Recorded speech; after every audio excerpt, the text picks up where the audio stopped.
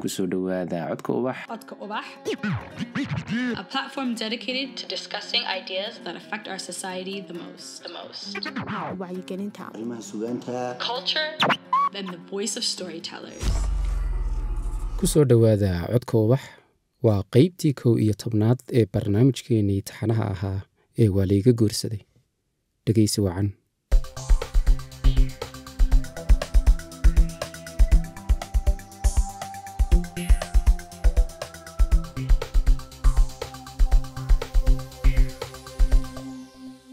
waxay ahayd horaantii labadii kun iyo labadii ama saddexdii. Dugsiga sare ayaan ku jiraa. Noloshuna way wacan tahay. Qof ayaad isbaranaysaan muddo kadibna waad ka xiisa dhacaysaa.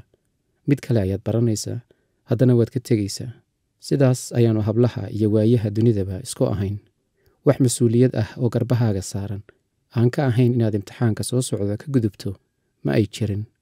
Habluhu waxay inta badan inamada ugu jiraan saddex derajo waa kuwo aydaan is aqoon ama isha uun iska taqaanaan oo aan wax xidhiidh ahi idinka dhexayn kuwo aad istaqaanaan balse walaalnimo keli ah idinka dhexayso wax kastana aad ka wada hadli kartaan. Iyo kuwa saddexaad oo ah kuwo xidhiidh idinka dhexeeyo si gaar ahna isu tihiin.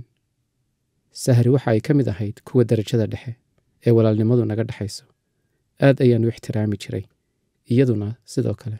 Waxase aanan ogeyn inay iyadu igu xidhi doonto gabadh ilaa maanta labaatan sanno kadib saamayn igu yeelan doonta. Waana sahro saaxiibaddeed wacan. Wacan waa reer jigjiga. Ama aan idhaahdee jigjiga ayay deggan tahay. Dhallinyarta ka tagta hargeysa intooda badan iyada ayaa martigelisa inta ay jigjiga joogaan iyada ayaa gacanta ku haysa. Xitaa meesha ay degayaan iyada ayaa dejisa. Reer ladan ayay ka soo jeedaa gobonnimona way u dhalatay. Waa qof hadalhaynteedu igu badatay wacan waa sidan. Wacan waa sidaa. Sahra oo ay saaxiib dhow yihiin ayaa aad iiga dhaadhicisay. Ugu dambayn waxaa la yidhi waxay imanaysaa inantii wacan. Hargeysa ayay imanaysaa. Waa in la soo dhoweeyo si u dhow sida ay iyadu dadka u soo dhoweyso sahra ayaa soo kaxaysay. Waxaa la socdaa asxaab kale oo rag iyo dumarba leh. Markii u horraysay ayaan arki doonaa gabadha noloshayda saamayn ku yeelan doonta. Waa qof aad u furfuran aad u kaftan badan marka ay hadlayso dadka oo dhammi dhegaysanayaan waa qof aniga aad iiga dabeecad duwan. Marka la eego kaftankeeda joogtada ah heer ay gaadho inay cabsi geliso. Furfurnaan xaddhaafa awgeed. Habeenkii koowaad waxa aan arkay qof noocaas ah oo magaalo dhan ah. Saddex habeen oo kale ayaa u hadhay inta aanay ku noqon magaaladeedii. Habeenkii labaad annaga oo sidii u badan ayaannu casho u tagnay makhaayad la odhan jiray jabuuti ama loogu dhawaaqi jiray d jabuuti oo ku taalayay bartamaha magaalada hargeysa istaanka basaska idaacadda agtiisa. Caawa sidii xalay way ka duwanayd way ka hadal yarayd wayna ka kaftan koobnayd. Malaha aniga ayay hoos iigu soo dhaadhacday. Ma ogi intii aannu cashaynaynay oo dhan si gaar ah ayaannu isu daawanaynay una sheekaysanaynay dadka oo hadlaya haddana codkeeda gaar ayay dhegahaygu u raadsanayeen. Marka ay wax tidhaahdaba waan u soo jeedsanayey una jawaabayey iyaduna sidoo kale markii aannu baxnay intii aannu jidka ku sii jirnay oo dhan gaar ayaannu isula baxnay. Qoladii kale ayaannu dhowr tallaabo dib uga hadhnay annaga oo aan kala libdhayn wayna hor socdaan labadayada oo keli ahina waannu daba soconnaa. Hadalka ayaannu kala roganaynaa sidii laba aadamaha oo dhan ka soo hadhay. Iskama dhex gelayno midba markiisa ayuu intiisa odhanayaa ka kalena markiisa ayuu sugayaa. Wax badan ayay iiga warrantay reerkooda ayay iiga sheekaysay jigjiga iyo nolosheeda oo aanan weligay arkin ayay wax iga fahansiisay. Habeenkaas waxa aan hoyday aniga oo ka xun inaan hoydo. Ma jirto wax aan farta ku fiiqi karo oo i haya haddana sidii hore ma ihi. Sahra oo dareentay sida aannu isu fahannay wacan lexejeclana ka hadlinayso ayaa dhowr jeer igu dardaartay inaan inantaas ilaaliyo. Aniga laftaydu ma arko sabab ay sidaas ii tidhaahdo waayo uma arko inay wax naga dhexeeyaan weli haddana kollay waxuunbay dareentay sahri. Naftayduna sidoo kale. Aniga laftayda ayay iga waaninaysaa inaan inantaa u dhowaado. Waayo waxaan ka baqayaa in sidaydii aan mar dhow ka tago taasna uma qalanto. Wacan way ka duwan tahay dhammaan hablihii xiisuhuna dhex mari jiray. Mana rabo inay idayso ama ay ku dambayso sida kuwii ka horreeyey. Labadii habeen ee ku xigay waannu ka dhuumannay asxaabtii kale. Wakhti dheeri ah ayaannu isu hellay waxaana aan bartay qalbigeeda saafiga ah. Marka aan la joogo waxaan dareemayaa inaanan cid kale u baahnayn. Baahi oo dhanna ma qabo. Waan ku degayaa agjooggeeda hadalkeeda iyo sheekadeeda iyaduna si aanan hore u ogeyn in laysu qadariyo ayay ii qadarinaysaa. Waxa ay dhowr jeer iga codsatay inaan jigjigo ugu imaado. Wax walbana ay iyadu qabto. Way igu celcelisay iguna adkaysay inaan halkaa ku booqdo waanan ka aqbalay. Balse runtu waxay tahay in aan weli ahay wiil dhallinyar ah oon ikhtiyaar badan lahayn jeebkiisana aanay wax ku jirin. Ma ballan qaadi karo wakhtigaan u tegayo waanse u sheegay inaan mar uun u iman doono.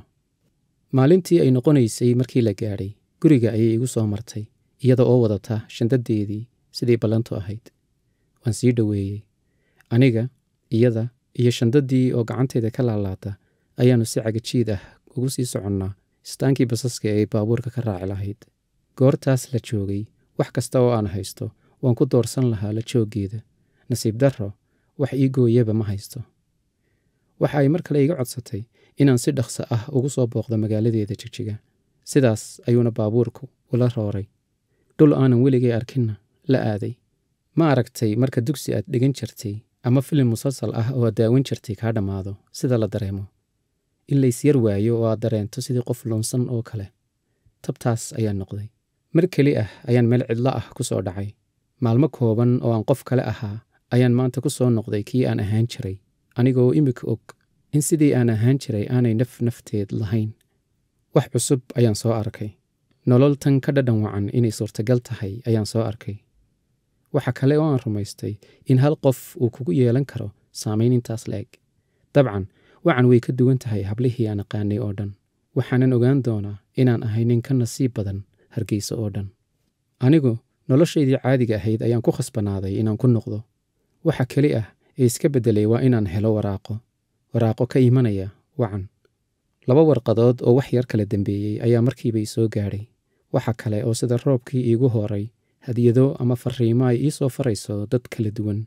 Waxa aad mooddaa inay baabuur kasta oo soo baxaya wax ii soo saarayso.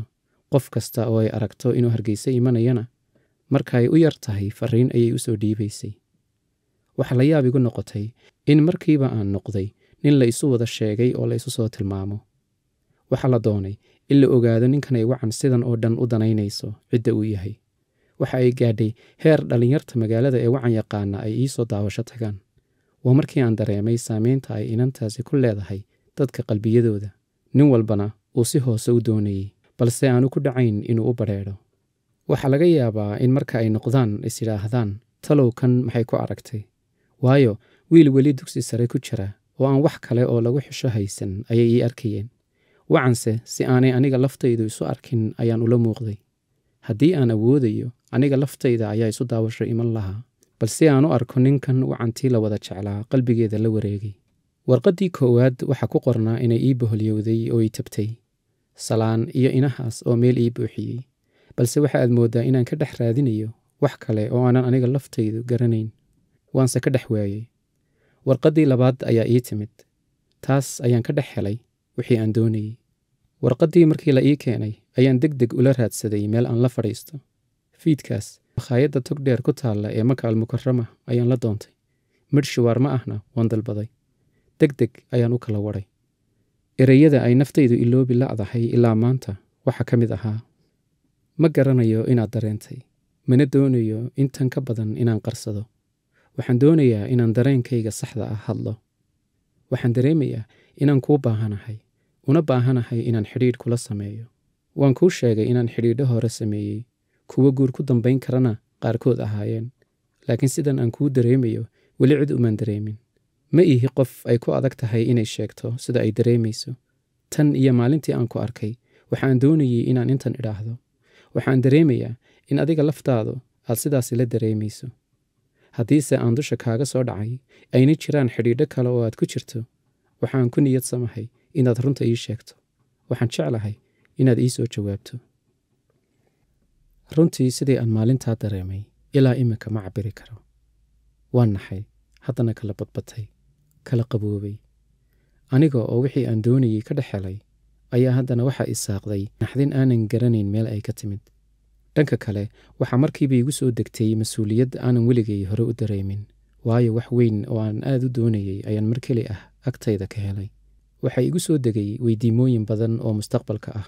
Markiiba qorshayaal mustaqbal ayaa i hadheeyey waxa aad moodaysay inaan mar keli ah daqiiqada gudahood ku koray. Warqaddii waan ka jawaabay inankii ii keenay oo noqonayay toddobaad gudihii ayaan u dhiibay. Aniga oo og in laygaga wacan yahay inaan cabbiro dareenkayga ayaan haddana qalin u qaatay inaan u sheego halka aan taaganahay. Waxa aan u qoray inuu anigaba igu jiray dareenkaasi. Runtiina aan soo dhowaynayo sidaas ayaan farriintayda ku gaadhsiiyey wacantii reer jijiga. Aniga oo iminka huba in wacan ay taydii tahay ayaan habeen kasta hoydaa subax kastana soo toosaa sidaas ayay waraaquhu isu weydaaranayeen. Xiisuhuna ku sii biirayay dadka iyada darteedii baranayaana u sii kordhayeen. Warqad kasta oo xaggeeda iiga timaada hadiyad ayaa la socota. Anigu markayga waxba ma diro aan warqad ahayn. Sidaas ayay biluhu laba ku noqdeen. Haddana badh kale ayaa tegey. Warqad kastana waxaa hoosta kaga qoran. Goormaad imanaysaa jigjiga. Anigu dhallinyar ayaan ahaa. Manaan helayn kharash aan jecsin ka dhigto walow ay in badan ii sheegtay inaan iskeeno oo keli ah. Wax la iiga baahan yahayna aanay jirin. Haddana qayb ragnimadayda ka mid ah ayaanan ka dulboodi karin. Waa inaan sii qaato kharash haba yaraadee qorsho been u badan ayaan u dhigay nin aan walaalo ahayn oo qurbaha ka yimid. Waxaan u sheegay inaan dugsi cusub oo ingiriisida lagu dhigto bilaabayo. Kharash buugaa ku iibsadana aan u baahanahay. Soddon ilaa afartan dollar ayaan ka helay. Iga badan fasax dugsiga ah ayaan la eegtay. Warqad aan ku wargelinayo inaan imanayana waan u diray. Aniga oo ku faraxsan inaan baxayo haddana igama maqno werwarka ah inaan tegayo magaalaygu cusub. Iyada lafteedana aanan hubin sida wax u dhici karaan. Wiil aanu asxaab ahayn ayaan ku qanciyey inuu i raaco. Habeenkaas oo dhan ma seexan. Kun wax ayaa sidaa iigu wareegayey farxadna waan la dawaqsanaa subaxii ayaannu ku kallahnay istaankii baabuurta waxaanan cagta saarnay jidka galbeed u baxa. Aniga oo ka fikirayey sidaan u joogi doono guri inan reer dhalay waxa aan kala kulmi doono iyo sida xaal ku dambayn doono. Intaba waxa kale oo aan ka warwarayey sida aannu isu qaabili doonno. Waayo maalmihii koobnaa ee hargeysa in aannu marmar gacmaha isqabsanno annaga oo lugaynayna ayaa dhici jirtay. Waxaa iminka iigu weynaaday sida aannu iisu salaami doonno haddiise aan sii ogaan lahaa sida lai qaabili doono iyo waxa i sugaya waxa hubaal ah inaanan dhowr habeen oo hore indhaysu keeneen. Waxaa la igaga hor yimid kantaroolkii laga geli jiray magaalada berigaas waxaa waddada dhinaceeda taagan baabuur iyo bajaaj dhowr ah. Waxaa agtooda taagan dhallinyar dhowr iyo labaatan gaadhaya rag iyo dumarba leh si aad u qurxoonna u labisan. Dhaskii ayaan ka soo degay saaxiibkayna way daba socdaa. Waxa ay ishayda ku dhacday warqadaha ay dhallinyartu gacmaha ku sitaan ee uu ku qoran yahay magacayga iyo soo dhowow haddana waxa ay ishayda ku dhacday gabadha ugu bilicsan goobta. Dharar ahaan aniga iga gaaban u labisan si ka fudud oo ka qorxoon sida hablaha hargeysa. U labistaan maryaha ay xidhan tahay midabkooduna yahay midabkii beerbalka ahaa ee aan hore ugu sheegay inay ku soo baxdo. Waa wacan oo igu soo ordaysa. Aniga oo aan ka boganna ay laabtaygaga soo booday waa jawaabtii aan maanta dhan isa soo weydiinayey kor ayaan u hayay in cabbaar ah markii ay igu cuslaatayna waan sii daayey iyada oo i soo tiigsanaysa ayay dhabannada iga dhunkatay. Gacanta ayay qabatay waxayna ila hormartay dhallinyartii safka ku jirtay. Iyada oo mid mid ii baraysa waxa socda iyo waxa dhacaya iyo heerka la i gaarsiiyey aniga oo aan weli fahmin. Dadkii baska nala saarnaa iyo intii meesha joogtayna ay filinkayaga daawanayso ayaa baabuurtii laysdabageliyey dhankii magaaladana u soo dhaqaaqnay aniga oo aan weligii gebilay galbeed u dhaafin ayaa maanta sida boqorka laygu soo dhoweeyey jigjiga. Magaalada ayaannu dhex marnay annaga oo sidii aroos naloo gelbinayo jidadka iyo dhismayaasha magaalada ee igu cusub sidii aan isha ula raacayay ayaannu gaadhnay halkiina loo waday. Haddii aan islahaa soo dhoweyntu markii ayay kaa ahayd waxa aanan sii ogeyn ta iigu sugaysa guriga aan iminka soo istaagnay waa markii u horraysay noloshayda ee aan roog cas dul maro ubaxyana dusha laygaga daadiyo caleen ubax oo nool. Ma aha kuwii caagga ahaa. Laba qol oo guriga gaar uga go'an. Mid ka mid ah laba sariirood yaallaan. Ayaan aniga iyo saaxiibkay oo kollay isaguna yaaban uu midba mid qabsaday. Waa duhur kulayl iyo safar dheer oo aanu soo galnay kadib biyo ayaannu isku rognay.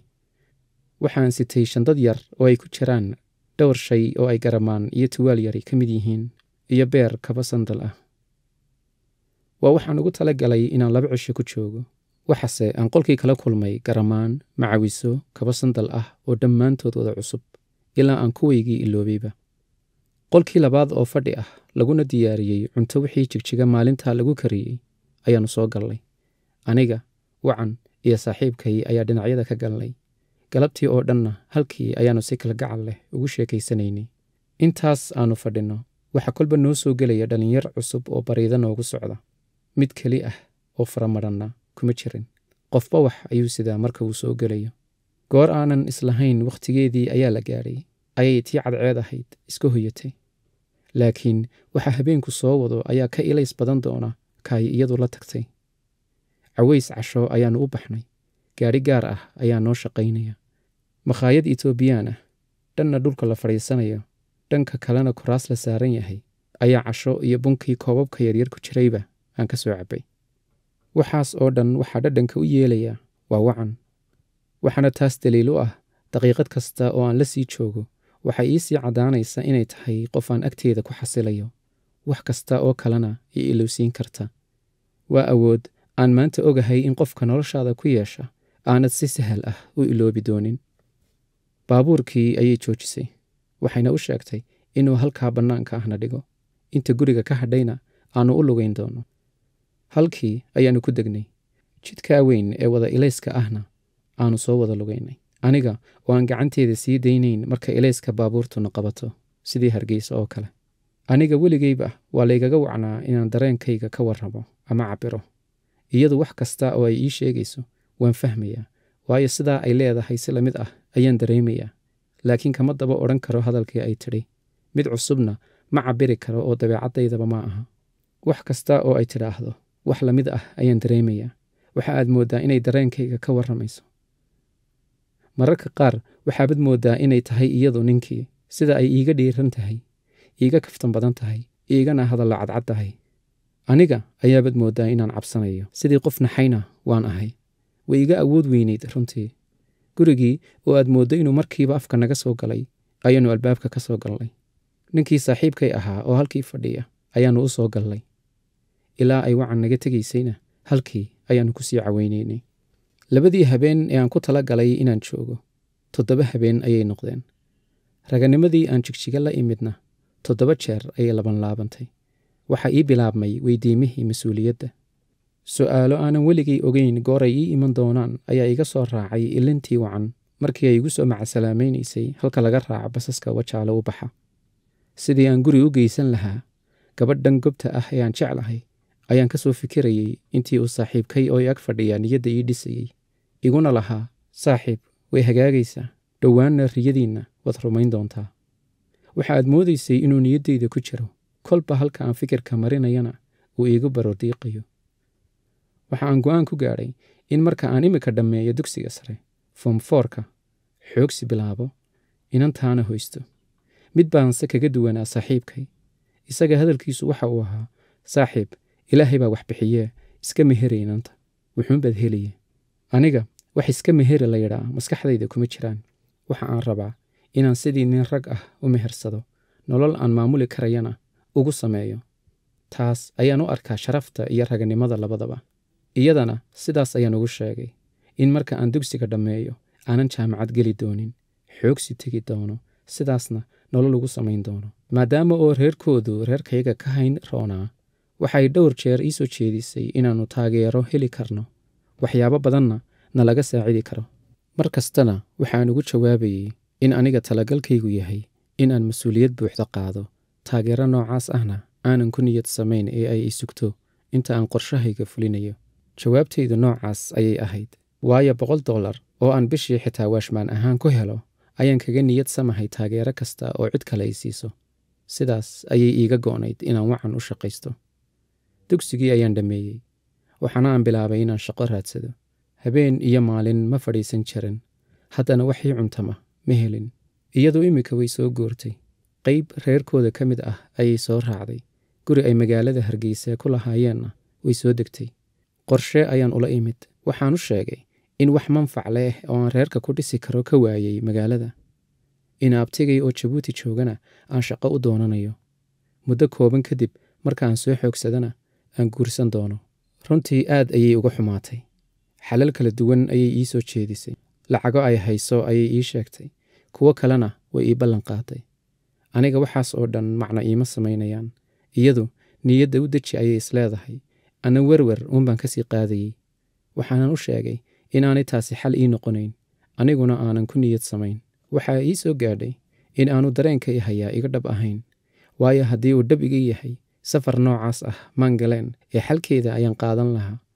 Waxaan u sheegay in sababta aan sidaas u samaynayaaba ay tahay sida ay iiga go'an tahay inaan guri yagleelo ayna ii samiirto muddo kooban. Sidii ayaan jabuuti ugu baxay. Iyaduna jigjiga ayay ku noqotay. Waxaana ii sheegtay inaanay jarin sabab ay hargeysa u sii joogto. Mar haddii aan anigu ka baxay. Berigaas iimail ayaa lagu wada xidhiidri jiray. Anigu mid ayaan lahaa. Iyadana waa loo sameeyey xidhiidhkayagu halkaas ayuu ka sii socday. Dekedda jabuuti ayaa shaqo layga siiyey. Nin dalka ka maqnaa ayaan magaciisa ku shaqo galay. Qol yar oo hal mitir oo isku wareega ayaan siddeed saacadood taagnaan jiray. Warqad yar oo baabuurta xamuulka ah loo soo jaray kuna qoran yihiin alaabta ay sidaan ayaan qaban jiray. Foom kalena ku buxbuuxin jiray. Markaas ayaan fasixi jiray baabuurka. Lacag saddex boqol oo doolar ah ayaan bishii ka heli jiray. Waxaana aan bilaabay inaan urursado wax yar oo aniga igu baxa mooyaane. Inta kale meel ayaan dhigi jiray. Bil kasta oo i dhaafta iyo mushahar kasta oo aan qaato waxaa sidoo kale ii iman jiray iimail kii hore ka sii fog. Waxa aad moodaysay inay wacan rumaysatay hadalladii ay igu odhan jirtay ee ahaa in aanan dan ka lahayn xidhiidhkan. Farriimo dayra ah ayaa ku jiray qoraalkeeda oo aan iminka sidii hore isugu dhadhoweyn aniga mar kasta jawaabteydu waxa ay ahayd inaan niyadda u dejiyo una sheego inaan danteenna ku maqanahay. Wakhtiga wuu socdaa. Biluhuna sagaal markii ay marayeen ayaan soo noqday. Kharash badh layga amaahday. Badh kalena aan sito oo aan is leeyahay reer waad ku dhisi kartaa oo toddoba boqol oo dollar ah ayaan hargeysa la imid. Maalintii xigtayna reerkoodii ayaan booqday. Waa loo sheegay wacan inaan imid. Laba maalmood kadibna waa ay ka timid jigjiga. Sidii aan filayey ama farriimaheedaba iiga muuqatay xiisaheedu sidii hore ma ahayn waxaad ka dareemaysay inay wax ka sii yihiin. Anigu sidii hore oo weliba iminka kalsoonina ku jirto ayaan ahay. Waanu sheekaysannay waxaanan u sheegay inaan iminka diyaar ahay si sharaf lehna u soo doonayo. Waxaay ii sheegtay inuu aabbaheed iman doono hargeysa laba bilood kadib si uu u xaraysto xajka. Ramadaan inta aan la gaadhin markaas aynu meherka ka dhigno. Waan aqbalay waxaase aan u sheegay in labadaa bilood aan jabuuti ku noqdo si aan u sii biiriyo kharashka aan hayo. Iyada oo sidii hore oo kale u diidan ayaan noqday. Waayo waxaan isku qanciyey in hawshu dhan tahay ballantuna tahay laba bilood kadib. Intaas ka hadhayna aan u soo xoogsado reerkayga cusub.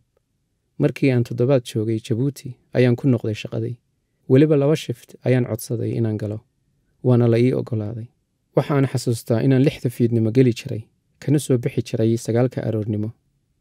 Dhowr saacadood aan seexan jiray haddana halkii ka bilaabi jiray. Nin yool leh ayaan ahaa. Kaas waxaan ahayna iima caddayn. Markii ay ramadaan soo gashay waxaa dhici jirtay inaan ka afuro masjidka sacuudiga ee ku yaalla dekedda oo afur bilaash ah lagu bixin jiray maadaama aanan kharash iyo wakhti midna u hayn inaan cunto samaysto. Shilin kasta oo isoo gala waan kaydinayey iimail ayaa wacan iiga yimid. Waxay ii sheegtay in aabba hargeysa aanu imanayn. Xajkana uu ka xaraysanayo jigjiga sidaa darteed aan meherka ka dhigno jigjiga cidna u soo wakiisho. Waxaanu sheegay inaanan cidna ka aqoon jigjiga. Aabbahay ma noola. Adeerkay ayaa marka horeba hargeysa iiga dooni lahaa iyada. Ehel kalena kuma lihin jigjiga. Sidaas darteed aabba xajka ha ka soo noqdo ayaan u soo jeediyey. Halkaa marka la marayo farriimaheedii waa ay isbeddeleen. Waxay ii sheegtay inay ka baqayso in ay aniga dartay u lunto. Waan fahmi waayey markii dambese ayay ii dhacday. Asxaab kale ayay ku xidhatay. Hablo kale oo ay rag waaweyn ku xidhan yihiin ayay isbarteen. Runtii werwer cusub ayaa igu abuurmay. Waayo markii hore eedayn ayuunbuu ku koobnaa hadalkeedu laakiin iminka ficil ayaa soo raacay. Laba bilood iyo wax yar kadib markii aan magaalada imidna shan maalmood oo aan raadinayey kadib waxa aan la kulmay qof kale. Waa wacan aan ahayn tii hore. Magaceeda oo keli ah ayaa sheegaya inay iyadii tahay waa qof iga sii jeeda bilaa dareen ah xumaan badanna iga tirsanaysa. Waa wacan hablo balwad la raacda. Aan ahayn qofkii aan ku ogaa sinaba. Runta ayay ii sheegtay inay dartay isu beddeshay. Dartay balwad u yeelatay si ay werwarka iskaga yarayso. Waxa kale oo ay ii sheegtay inay la hadasho niman waaweyn oo aan magaalada ka garanayo. Waxa igu weynaaday hadallada ay ii sheegayso ee runtana ay ka sheegayso. Waa dabeecaddeedii iyo hadalcaddaanteedii waxa ay ahayd qof iyadu kuu sheegaysa wixii ku cusub inta aanad meel kale ka maqlin waa dabeecad aan ku jeclaa kuna bartay berigii aannu hargeysa wada joognay berigii aan magaaladeeda tegey cawaysyadii jadadka jigjiga waa dabeecaddii aan ku jeclaa balse maanta dabeecaddaas lafteedii ayaa wadnaha ii goysay waxaa ii caddaysay inay cid kale xidhiidh la leedahay habeenkaas markii ay ii warrantay wax go'aan ah maan siin wax kalena kumaan odhan waxaa hubaal ah in qofkani aanay ahayn qofkii aan u howlgalay. Habeenkaas lambarrada ayaannu kala qorannay sidii ayaanan kaga tegey. Waxa aan qorsheeyey inaan meeshaas ay gashay kala soo baxo. In badan marka aan raadiyaba marmar ayay dirqi iigu jawaabaysay. Waxa igu adkaatay inaan helo. Keligay ma aha eh xitaa ehelkeedii ayaa raadinayey oo la' anigu candhuuftaydii dib ayaan u liqay.